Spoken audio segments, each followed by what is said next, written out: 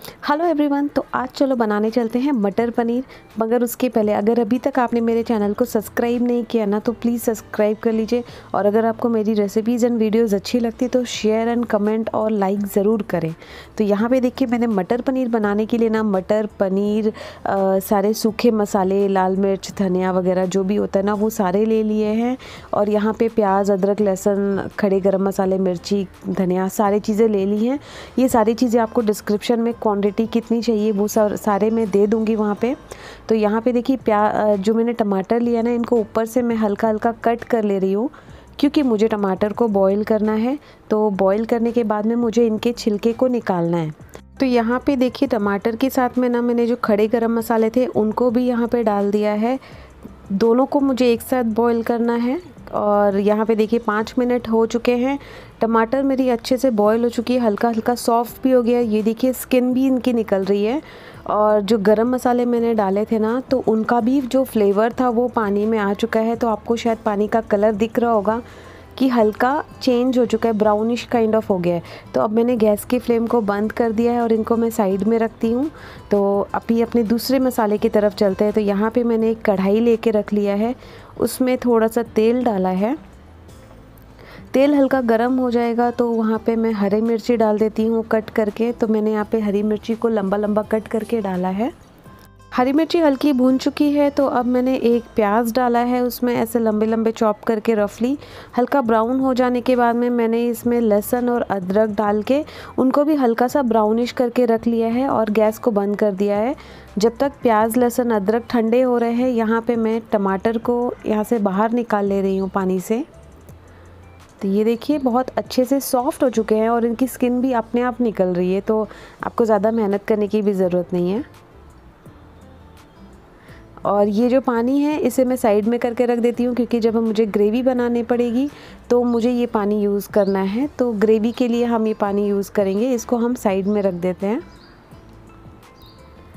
और टमाटर के जो छिलके ऐसे निकले हुए ना, उनको हम निकाल के साइड में कर लेते हैं। ये देखिए तो यहाँ पे देखिए, मैंने सारे टमाटर के छिलके को निकाल लिया है और इनको मैं छोटे छोटे पीसेस में कट कर ले रही हूँ क्योंकि ये गर्म है और अगर पीसेस में कट करेंगे तो जल्दी ठंडे हो जाएँगे। तो यहाँ पे देखिए, इन टमाटरों को मैंने एक मिक्सर जार में डाल दिया है और अदरक, लहसुन, प्याज और मिर्ची को जो मैंने फ्राई किया था, हल्का भुना था तो उसको भी मैंने इसमें मिक्सर जार में डाला है और थोड़ा सा धनिया पत्ता मैंने डाला है। धनिया पत्ता ऑप्शनल है, पर अगर आप चाहो तो प्लीज़ डालें क्योंकि फ्लेवर बहुत अच्छा आता है। तो ये देखिए, मेरे मसाले बन के रेडी हो चुके हैं।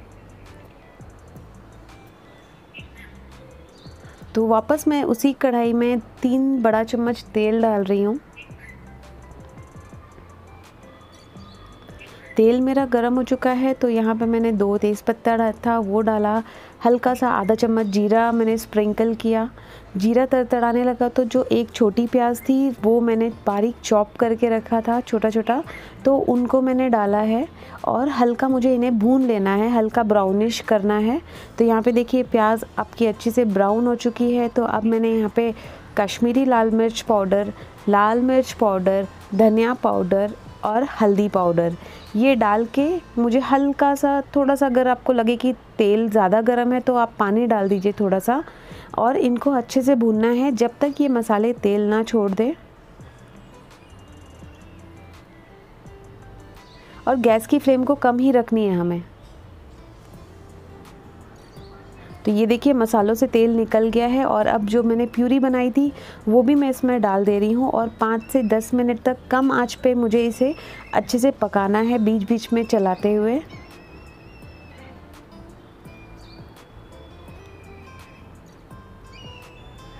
तो ये देखिए बॉईल आना शुरू हो गया है। अब मैं इनको ढक दे रही हूँ और पाँच मिनट तक मैं इन्हें पकाऊँगी। बीच बीच में मैं ढक्कन खोल के चला, चलाना भी है मुझे। तो मसाले मेरे अच्छे से पक चुके हैं। तो ये देखिए, काफ़ी अच्छे से मसाले पक चुके हैं और अब मैंने इसमें ग्रीन पीस डाल दिया है, जो हरी मटर होती है। हरी मटर थोड़ी सी मैंने बॉईल की थी डालने के पहले। तो यहाँ पे आप अगर डालना चाहो बॉईल करना चाहे तो कर सकते हैं, नहीं करना चाहे तो ऑप्शनल है। और यहाँ पे मैंने पनीर डाल के इनको एक मिनट तक हल्का सा भून लिया है और अब मैंने पानी डाल दिया। तो अगर आपको लगे कि आपके पास पानी कम है वो मसाला वाला तो आप एक्स्ट्रा अलग से भी पानी डाल सकते हैं। ग्रेवी आपको कितनी चाहिए आप अपने हिसाब से डालिए, पर ज़्यादा पतला मत बनाइए क्योंकि अच्छा नहीं लगेगा फिर। और यहाँ पे मैंने जो एक चम्मच किचन किंग मसाला था, वो ऊपर से स्प्रिंकल कर दिया है। ये देखिए तो मसाले वगैरह सब कुछ अच्छे से मिक्स हो चुके हैं मेरे